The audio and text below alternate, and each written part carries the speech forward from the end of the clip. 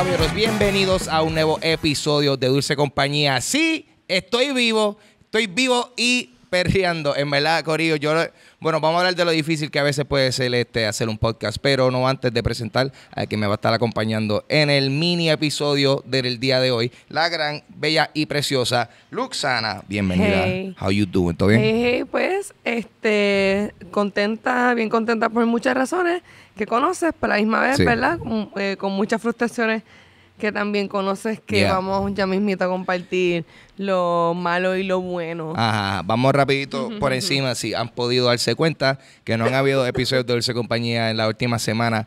Eh, pues ha sido un sinnúmero de, de percances que han, eh, que han dificultado la cosa porque primero que todo se supone que hubiese un episodio del Dulce Compañía Live, pues la, la última edición que se hizo, que se grabó, que estaba eh, Oski, Oski Morales y Cristina Sánchez de invitado, que el show... El show estuvo brutal, o sea, la- Sí. se pasó brutal. Buenísimo, ¿Cómo- una- inició? Ah, bueno, tú que, tú que tú que sabes de Dulce Compañía, has estado en todos los shows. ¿Qué te parece ese último show? Este, no, fue tremendo show. Eh, Oski y Cristina se quedaron con eso. Ellos fueron muy buenos invitados. Así que fue buenísimo. Tristemente. Ajá, mano. Y esto es algo que, Ángel, ¿tú le has contado esto a tu público Yo, he- yo antes? he hablado de esto, yo creo que en ocasiones, pero no, no, no, no he profundizado, pero habla de eso. Eh, yo no sé si ustedes saben esto, pero yo creo que, exacto, Ángel ha dicho más o menos que usualmente él está haciendo la mayoría de, de lo técnico de sus shows, él solito. Eh, pues nada, y muchas veces, tristemente, él está hablando con los invitados sobre lo que va a hacer y a la misma vez poniendo y seteando lo- todo lo que sea las cámaras y a la misma vez todo lo que es los micrófonos y el audio para el show en vivo y a la misma vez para que estén grabando. Y de momento la cámara o a lo que está grabando el audio les da un yello y the show must go on. Y entonces no es como que Ángel, o sea, como él es el que tiene el conocimiento, ¿verdad? Pues en realidad él es el que tiene que atender esa situación, pero si él tiene que hacer su show, él no puede estar atendiendo esa situación. Sí, y ah. ahí se fue y ya un- varios shows de Dulce Compañía Live eh, no se han podido compartir con ustedes, lo cual me hace bien triste porque la que han quedado bien chéveres Sí, sí. esos shows. Eh, Es un problema, es un problema porque, eh, pues, en el caso de cuando son podcasts y episodios como este, que, pues, tú sabes, no son en vivo, pues uno tiene la habilidad de cualquier cosita, si algo no estaba grabando, pues, mira, pues, va trip, pero vamos a grabarlo de nuevo. En una ocasión, en un, un setting como Dulce Compañía Live, está en vivo, tú sabes, eso no grabó, no, tú sabes, no se puede parar, y segundo, no hay break de, como quien dice, volver a hacerlo, simplemente no se puede recrear lo que haya pasado eh, en un show en vivo de esa forma. Y lo más triste aún es, ha ocurrido que Ángel me ha dicho, ah, no grabó el video, pero sí grabó el audio y se tira como podcast audio y se Ajá. acabó. En este caso, no hay ni video ni audio. Esto es... verdaderamente, verdaderamente un más trip. Sí, porque yo dije, wow, por lo menos se grabó el audio, vamos a checarlo. Y el audio, mm, nada que ver, no sé. O sea, se grabó, pero no se grabó bien. Tiene que ver cosas con cablería y medio mundo. Lo que, hermano, pues, tú sabes, eh, no, no estoy. No estoy diciendo que soy el único que le pasa, porque estoy claro que pues, a un, un montón de personas le tiene que pasar esto. Tú sabes, esto es eh, la realidad de ser una, una persona, un creador de contenido independiente que por lo general, tú sabes, esto es do it yourself, baby. Y, pero aún así, siempre soy agradecido por todas las personas que sí, en efecto, me dan la mano. En el caso de Dulce Compañía Live, eh, tú sabes que yo, aunque yo estoy a cargo de muchas de las cosas, pero eh, tú siempre estás presente, tú estás encargada de, de, de ciertos segmentos, incluyendo charades, que es uno de los, uno de los segmentos más divertidos del show. Eh, en, estos hecho, en estos shows que estamos haciendo en, en Ojalá Speak Easy, en Cagua, me está ayudando eh, Onyx, eh, Onyx Ortiz, que él nos está ayudando en, en la consola, en el sonido, tú sabes, él está tirando eh, los soundboards, tenemos efectitos especiales, los, los, los cues de ah, los cues audiovisuales y todo eso. Eh, pero que en cuanto a lo que se trata la grabación y todo eso, pues obviamente ya eso es todo está en, en- mi dominio y es difícil manejar ese aspecto técnico a la misma vez que estás tratando de poner un show y entretener a una audiencia. Pero se puede hacer, se puede hacer. Es difícil, pero se puede hacer. Pero a- a lo que voy es que por eso es que pues eh, pues no, no, no pude soltar un episodio de Dulce Compañía recientemente Live. porque se supone que uno de esos episodios hubiese sido ese live que no se pudo grabar. So, estaba contando con haber tenido ese episodio, so, no grabé otro episodio, como él dice, para cubrir ese espacio. Y pues tras de eso, si se- eh, a los que están viendo el video, está, está en el espacio donde típicamente grabamos, que donde estamos grabando, eh, donde típicamente grabamos, no tiene aire, eso estamos tratando de vergar donde...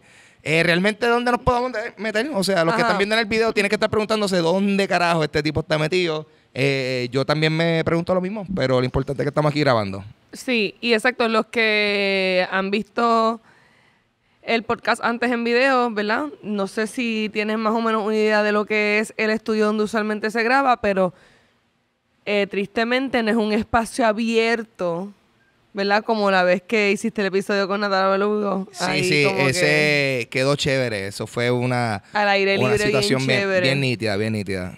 Sí. Pero Mano, aquí pero es que- estamos y se sigue bregando. Ángel, para Ah. que sepan, porque yo a veces pienso que, que tú deberías de comunicarte un poquito más eh, con, con, Cuéntame, con tírame, tus, tírame con adelante, regáñame. fans. Regáñame. Este tenía un show de, ay, porque hasta que no haya aire en el estudio no se puede grabar. Y yo grabé donde sea. Que se chave, brega, resuelve y después se vuelve como que no, porque ya tenía esos ahí set. Hasta que pues finalmente se rindió y dijo, vamos a grabar donde sea. Sí, lo, lo que pasa es que, mano, eh, yo me pongo, como te digo, es que como yo ya yo estaba acostumbrado, por ejemplo, a tener invitados y a llevarlo a un espacio, pues tú sabes, yo a mí no me molesta yo ponerme en una situación en donde yo voy a pasar calor grabando y todo eso, porque pues tú sabes, eh, en mi podcast y, y, you know, eso es lo de menos. Pero obviamente, tú sabes, eso me limita al si quiero tener otro tipo de invitados, que no los quiero poner en unas condiciones de calor, tú sabes, quiero que la gente esté cómoda. Claro, claro. Yo lo puedo hacer con un par de panas, que uno de ellos va a tener el día de hoy próximamente. Pero tú me entiendes, hay, eh, eh, es incómodo. Yo por lo general quiero tratar de que la experiencia de- de- de grabar el podcast y, y no tan solo para mí, pero principalmente para, las para los invitados, que sea lo más placentero posible. Yo no quiero que después digan, papi, yo no voy para Dulce Compañía porque es una calor cabrona. Yo no vuelvo. Fuck that shit. Pero nada, básicamente eso ha sido más o menos eh, algunas de las dificultades mayores recientemente en cuanto a el podcast en vivo y la versión grabada, porque también ese no fue el único live que no sea... Ah.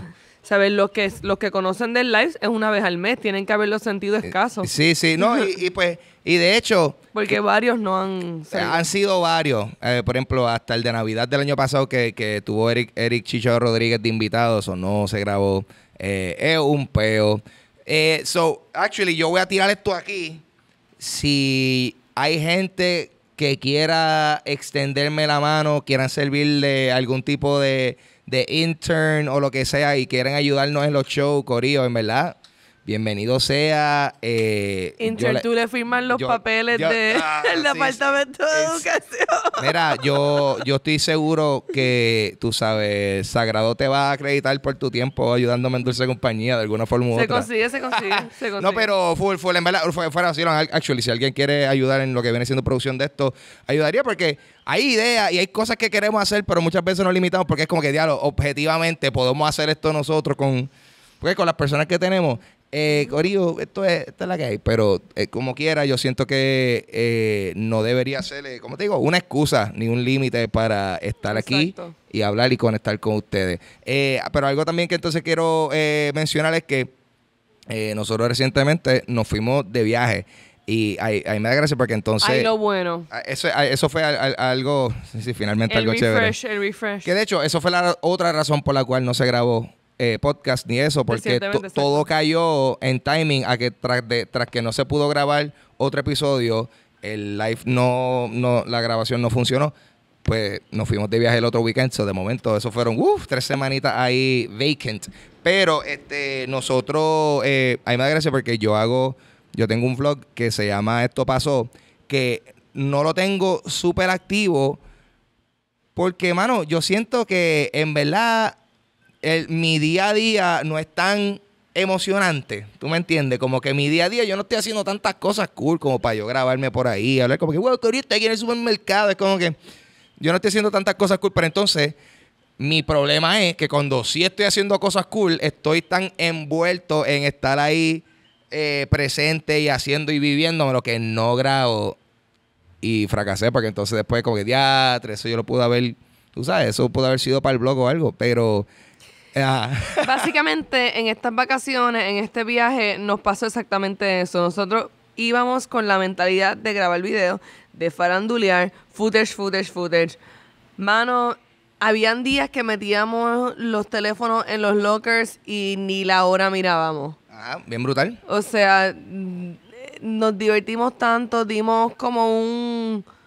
de- nos desconectamos com- de todo. Sí, sí. No, y, a lo que iba con eso es que pues me da gracia porque entonces todas las veces que yo en efecto edito cosas para el blog es casi siempre cuando me voy de viaje. Eso me da gracia que ahora mismo si yo voy a editar footage de este viaje que fuimos recientemente, el episodio, el último episodio antes del que yo soltaría ahora es cuando yo estaba La otra vez en. Europa. Es como que diablo, ya el cabrón, el más que fucking Este viaja. Papá pistola, So, chavo. yo tengo que hacer entonces, voy a hacer un episodio pequeño antes del que vaya a tirar ahora con el pie de este día que nos fuimos. Eh, pero eh, nosotros nos fuimos, yo, yo por lo menos tengo una tradición desde el 2012 que yo voy todos los años para el evento de Halloween de Universal Studios que se llama Halloween Horror Nights y a mí me eh, encanta y me fascina eh, eso. Y he ido, pues, como dije, ya son, yo no soy bueno con matemáticas, seis años, seis años de la tradición. Y pues, entre eso, este fin de semana, nosotros fuimos para eso, fuimos para el parque de SeaWorld. No apoyamos,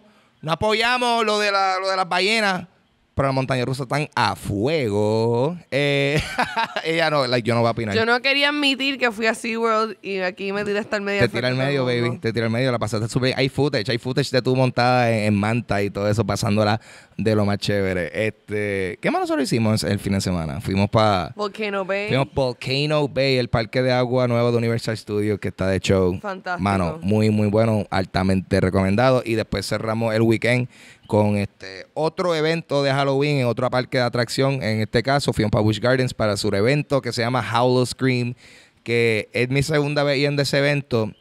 Y déjame decirte, eh, está ahí, ahí. A mí me, yo, yo pienso que un- un- una le da buena competencia a Horror Nights. ¿Dijiste Horror Nights? Sí, sí, sí, porque ese fue el, esa fue la tradición, tú sabes. Esa es la razón principal por la cual nosotros vamos a ese evento. Pero eh, ese evento de, de Busch Gardens de Halloween, yo pienso que da la talla, pero por razones diferentes, porque obviamente Universal tiene el presupuesto y es un parque grande, tú sabes. eh, el nivel de producción, pues, tú sabes, es difícil superar eso, pero como el parque, eh, como Busch Gardens de noche, tú sabes, un- tiene más vegetación, da un, el ambi- o sea, da un poquito más miedito tú caminar por ahí y, y Tienen una, un haunted este, house que es 17 plus. Ajá, o ¿sabes? sea, Que está hardcore. sí, sí, o sea, y, y, o sea, y siento, Bloody. siento que son, fueron más creativos con ciertos otros aspectos y siento que hasta ciertas ambientalizaciones fueron más efectivas, eh, como que, tú sabes, yo siento que fue un evento de show y nada, yo estoy diciendo todo esto realmente como preámbulo a lo que en efecto pues, van a poder ver